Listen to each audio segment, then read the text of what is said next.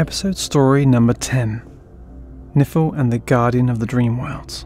Myrd pulls out a final sprinkle of astral dust and throws it at the mass of the expanding energy, and with his magic cane taps the expanding form of light, and then taps onto the dream bottles covered in astral dust, and both explode into a million pieces going at light speed through the cavern and out of all of its exits and entrances, in the process fluffing up Myrd's beard, making it sparkle.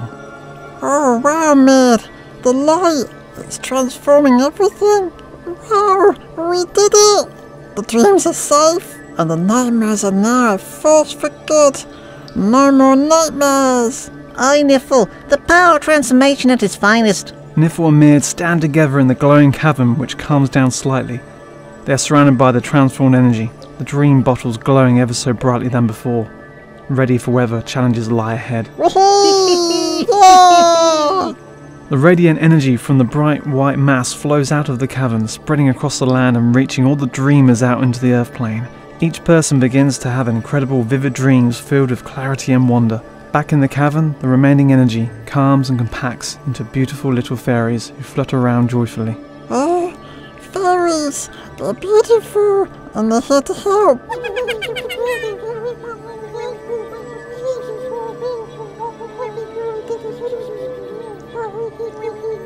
Oh, look at that, it seems the dream world has just gained some wonderful new allies, Niffle. The fairies flutter around the cavern, sprinkling their own kind of magic onto the dream bottles. In the process, they clean and sparkle the whole place, fixing shells, and the dream bottles now glow even brighter than before. The dreamers, now fully aware of their dreams on the earth plane, experience a night of profound and vivid dreaming, a rare encounter, especially as a full moon shines bright over the cavern. That night, every dreamer became fully aware of their dreams. They experienced incredible adventures beyond their body, profound insights, and beautiful mo- moments, along with healing and gratitude. All thanks to the combined efforts of Niffle, Myrd, and the transformed entity. Even Mr. Silver came back to his bed, waking up to remember his astral adventures. Back in the cavern, Niffle and Myrd watched as the fairies work, their hearts filled with joy and satisfaction. We've done something truly amazing, Myrd! The dreams are safer and more wonderful than ever! Aye, Niffle, we've created a world of dreams where they can truly flourish and grow. The mass of light reveals another entity visiting from the dream worlds, a deep, wise, and calming presence that gently speaks to Niffle and Myrd as the leftover energy dissipates and the cavern turns back to its cozy glow. Thank you, Dreamkeeper and Dreamweaver. Worlds. I have come here to help thank you upon the many realms and dimensions of your combined efforts and protection.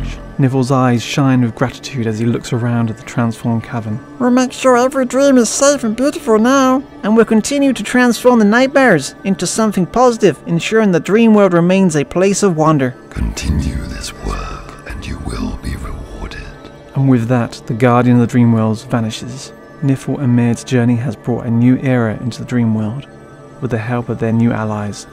They continue to ensure that every dream is safe, vivid, and beautiful.